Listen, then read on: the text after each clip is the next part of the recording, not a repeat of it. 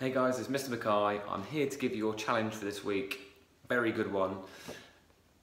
As you know, our multi-ability, so we look at six different areas when we do our PE lessons. And today we are really going to be looking at that creative one, using your creativity. Which items can you use at home? Uh, as you know, they, all of these work when we do our PE, but our real focus today is our creativity and also a bit of our applying our, our physical abilities. So looking at the creative challenge.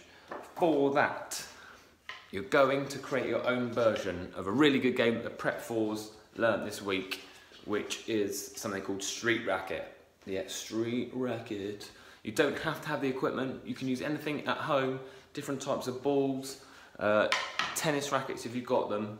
But there's three different variations that I'm going to show you, okay? Right, for the tricky level, so your starting level, tricky level, we're not even going to use any rackets. Use a different type of ball which bounces quite well. So we've got like a smallish football here, the plastic ones that bounce really well. So there's a pretty good bounce on it. So that's a good one to use. Or I've got this one that's a little bit smaller, so it's a little bit trickier to catch, but still quite a good bouncy one to make it bounce off the floor. Take a look at this to see how to set up the court and get the first level going. Here we go. Right, we're outside now. I'm um, going to quickly show you how to mark out your street racket court. You can use tape, but chalk works the best. So if you get the street racket set from Amazon, comes with some chalk in there that you can mark out your court. And it also comes with some guidelines on how to mark it out. But essentially, we're looking for this sort of a pattern here.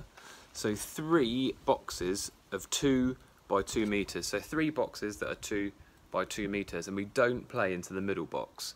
Right, so here you. we go, we've drawn our court on our driveway. So we've just got the first box, which one player will stand in, two by two meters. Then the centre box, which is effectively our net, so we don't play into that box, so that's got a cross through it. And then the final third box, which has got our second player inside. Have a little look at how we play our first game. Are you ready?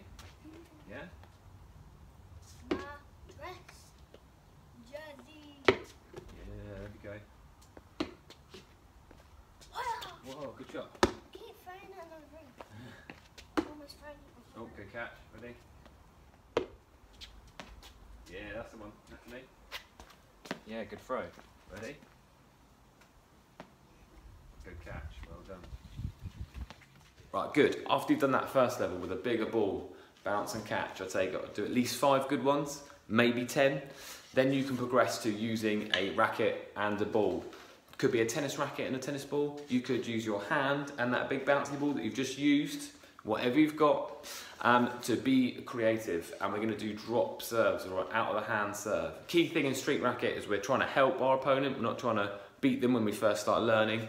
So it's going to be a nice low to high shot. So you're trying to hit it towards your partner. They're going to stop the ball, catch the ball or stop the ball, and then they're going to serve it back to you, just like this.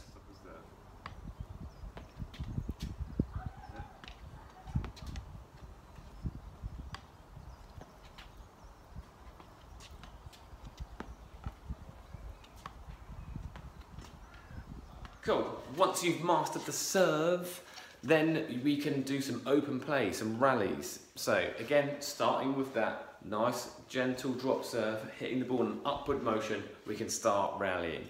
Key focus on street racket is movement, interplay between people. Obviously we've got no net, we're not looking to smash the ball down or volley the ball without bouncing. We want the ball to bounce and we want lots of movement with long rallies, yeah? We don't want stop, start, stop, start, having to go and collect the ball. Yeah, really good for any age. Lots of small foot movements as we move around, we play our shots, yeah, interacting with each other, lots of fun. Watch this last clip for some open play.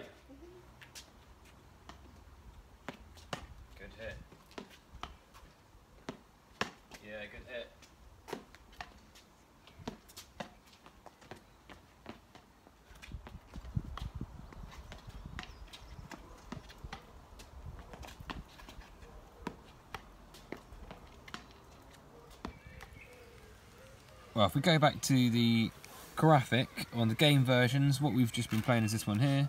One against one We're marking out the court on the floor. You can play individually or in pairs against the wall, almost like a squash version. Um, if you've got more than one player, we can do uh, around the world. We can do two against two across like that, or we can play around by drawing extra boxes. With three people, obviously you could just draw three boxes. There's lots of different variations, and again, like showing here, we can do four boxes to give you more options to play with twos. There we go. Enjoy. Right, thanks for watching, guys. I really want to hear how you get on this week, so comment below to let me know how many shots you can do in your rally. Yeah, if you head to Amazon, you can buy the street racket sets, which are really good. Bats are nice and easy to use. Big surface area to hit the ball. Good, the sponge balls are nice and soft, a really good bounce. You don't have to, but they are a very good thing to, to get because it also gives you the chalk to draw the court out and it shows you how to draw the court um, in a picture. So they are, it's a really good idea to get them, but you don't have to. You can use whatever you've got at home. Like I said, be creative. Show me what you've done. Comment below. Share the video with your, anyone that you think would be interested in it because this is a great game. You Again, social distancing, you can play with another person. You go speak to mummy and daddy first, but you can play with another person because you're two meters away and you're not sharing any equipment. You don't have to go near anybody. So excellent one to do whilst we're still on lockdown. And be creative. You can use any space you've got. Your patio, the driveway, the path outside your house. Yeah, even there's floor space indoors if you've got a big enough one. You can put some tape on the floor and mark it out with some tape. Okay, but let me know how you get on and I'll see you soon.